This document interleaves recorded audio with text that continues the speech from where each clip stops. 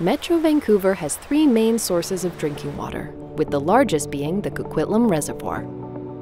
To meet the needs of our growing population, we need new infrastructure that will double our capacity to draw water from this reservoir.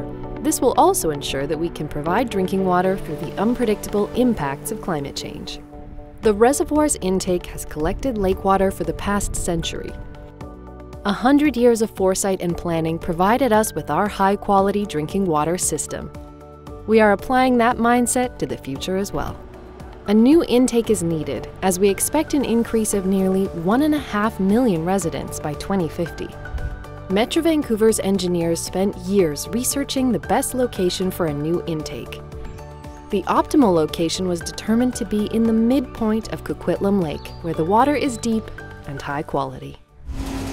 Near the site of the future intake, core samples are being drilled out for technical assessment this will help engineers to better understand the rock at the intake site and decide on a construction plan that has the least impact on the area. Climate change has made precipitation unpredictable, which drastically affects our region's water supply. 2021 brought a heat dome and atmospheric river, and 2022 saw an extended drought period. Complex projects of this scale take decades to plan, design, and build. Metro Vancouver is in the early phases of design and construction preparation, so this new infrastructure will be in place when we need it. In order to get the water from the new intake to the treatment facility, an 8.4 kilometer underground tunnel is also needed. Tunnels are durable, reliable, and low maintenance. Because this area includes lush forest and fish habitat, the new intake and tunnel will be planned to have low impacts on the environment.